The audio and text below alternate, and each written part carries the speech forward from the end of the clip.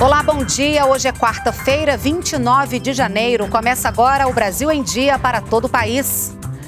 Governo consegue na Justiça a liberação do resultado do SISU, que já pode ser consultado na internet. E as inscrições para o ProUni também estão abertas. Para reduzir filas e agilizar os pedidos de aposentadoria no INSS, governo vai contratar, além de militares, servidores aposentados do órgão. E veja também, Brasil não tem casos confirmados de coronavírus. Autoridades de saúde monitoram pacientes com suspeita da doença. Fique com a gente, o Brasil em Dia já está no ar.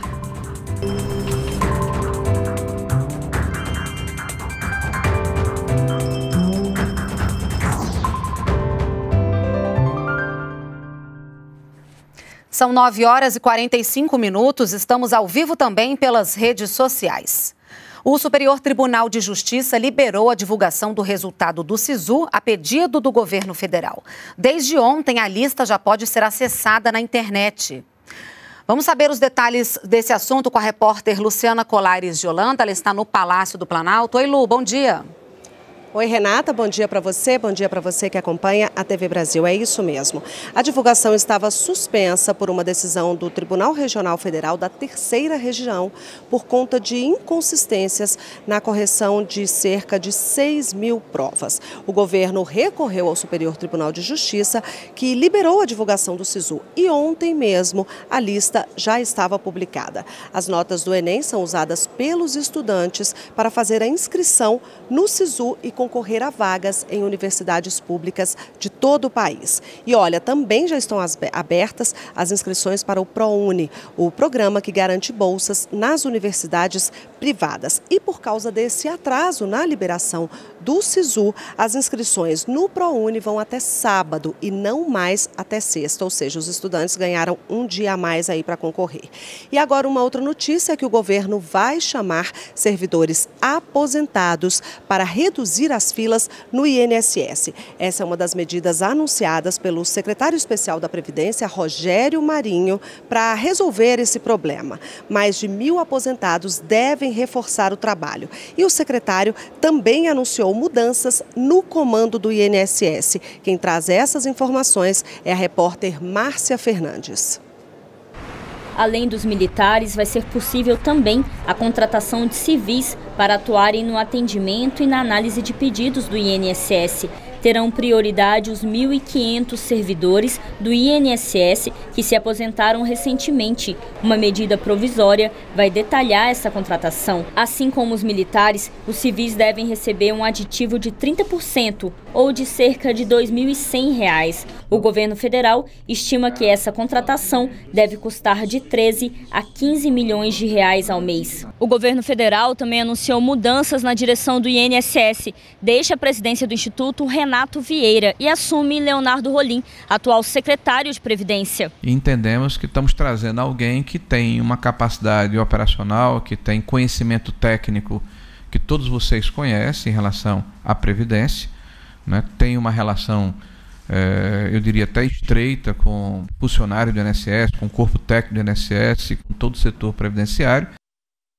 A Organização Mundial de Saúde recomendou a investigação de qualquer caso suspeito de coronavírus procedente da China. O Brasil não registra casos da doença. Existem três pacientes sendo monitorados pelas autoridades de saúde brasileiras. Além de uma jovem de Belo Horizonte, passaram a ser acompanhados mais dois casos, um em Porto Alegre e outro em Curitiba.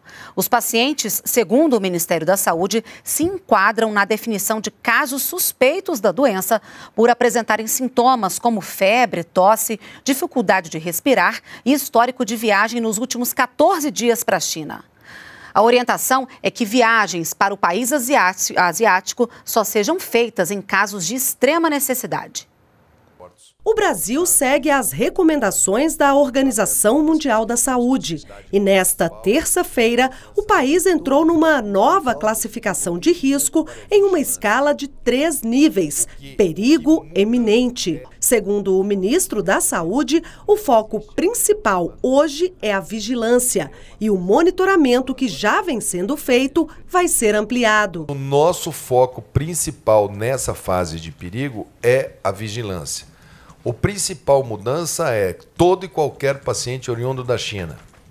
E se nesses países onde você começa a ter casos, como você começou a notificar casos na Alemanha, caso na uh, Singapura, Japão, enfim, ali na, na, na, península, na França, se eles começarem a ter é, transmissão sustentada, a gente aumenta na vigilância para esses países também. O Brasil já tem capacidade de identificar o vírus geneticamente. O laboratório referência para a detecção do coronavírus é o da Fundação Oswaldo Cruz. Em todo o país, portos e aeroportos têm recebido atenção especial e passageiros de voos e navios internacionais são informados sobre os cuidados que devem ter ao entrar no Brasil. O momento é um momento de tranquilizar a população brasileira. Nós não temos hoje nenhum caso sustentado, circulação dentro do Brasil.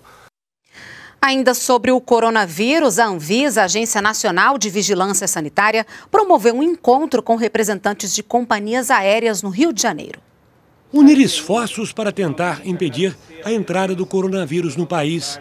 Esse é o objetivo dos técnicos da Anvisa, Agência Nacional de Vigilância Sanitária, que se reuniram com representantes de companhias aéreas que operam no Aeroporto Internacional do Galeão, no Rio de Janeiro.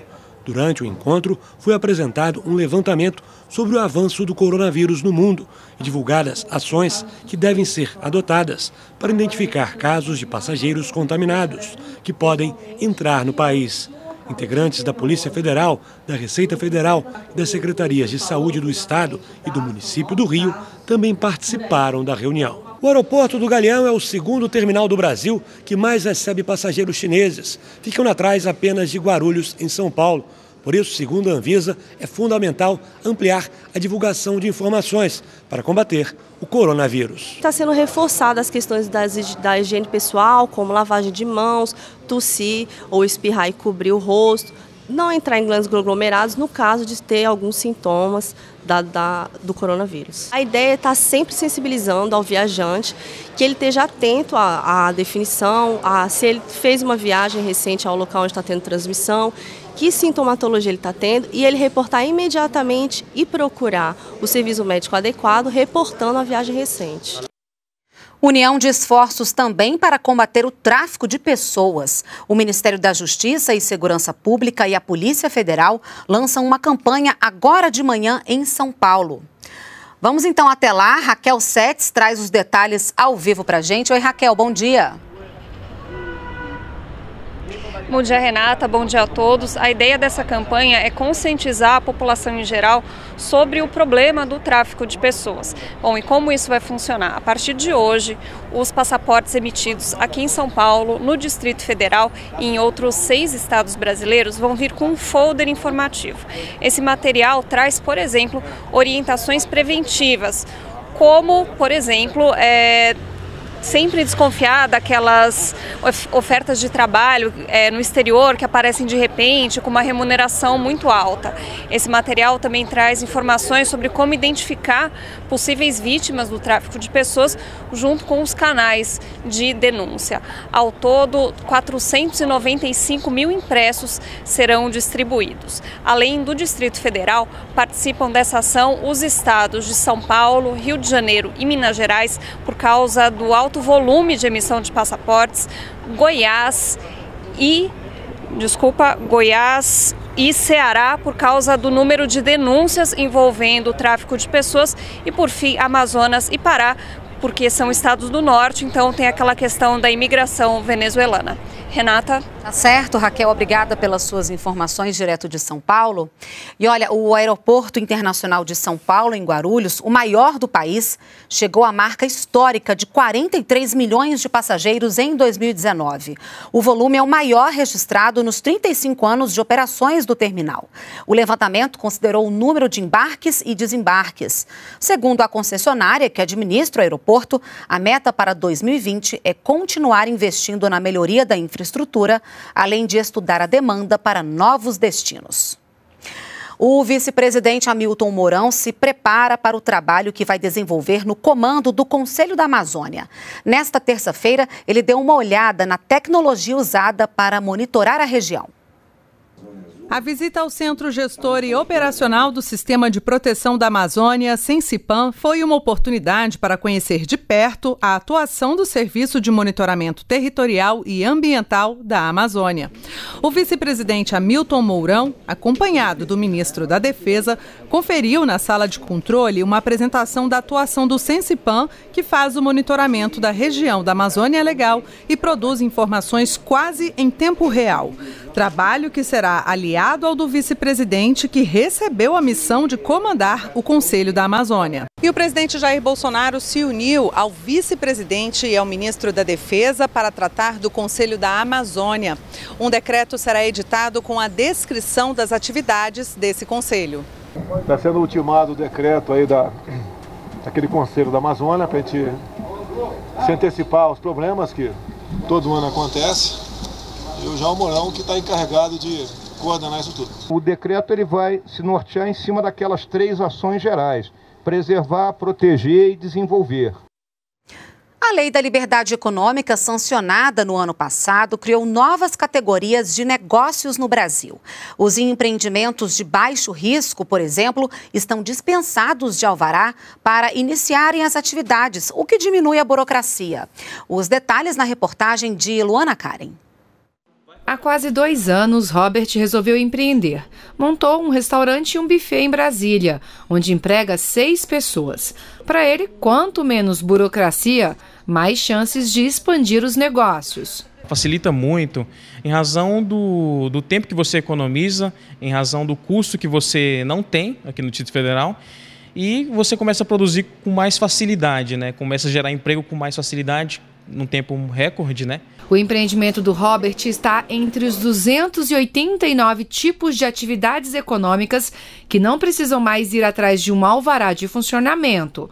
A Lei da Liberdade Econômica, sancionada ano passado pelo presidente Jair Bolsonaro, dispensa esse documento e outras licenças para empreendimentos de baixo risco. Ele deixa de ter os penduricários de custo de tempo a desburocratização fica para trás e o aumento da confiança. Esse é um ponto alto forte é, no micro pequeno empresário, no empreendedor, dizendo que ele está livre para caminhar sem as peias do Estado. Há 26 anos, esta contadora auxilia quem quer empreender a montar o próprio negócio e notou um crescimento na abertura de empresas do ano passado para cá. Posso dizer que da metade do ano passado para cá, minha carteira cresceu 70% em função da melhoria do ambiente de negócio. Por quê? Porque as pessoas se sentiram, viram que a coisa estava mais fluida, tá? E aumentou realmente as empresas, os micro, os MEIs virando empresas limitadas, sabe? Essa, esse crescimento, as pessoas querem realmente crescer e empreender. Dos cerca de 17 milhões e 700 mil empresas em funcionamento hoje no Brasil, mais de 10 milhões exercem uma atividade de baixo risco, 58% do total. A classificação de risco considera aspectos como prevenção contra incêndio, segurança sanitária e ambiental. Mesmo com a dispensa de alvará para abrir as portas, os empresários continuam obrigados a seguir todas as normas de segurança previstas em lei. As regras continuam sendo valendo, o, todos os empreendedores continuam tendo que respeitar a lei e as normas vigentes, mas essa fiscalização ela ocorre a posterior, depois de iniciadas as atividades. O Brasil em Dia fica por aqui. Você pode nos acompanhar também pelas redes sociais. Obrigada pela sua audiência aqui na TV Brasil. Ótima quarta-feira e até amanhã. Tchau, tchau.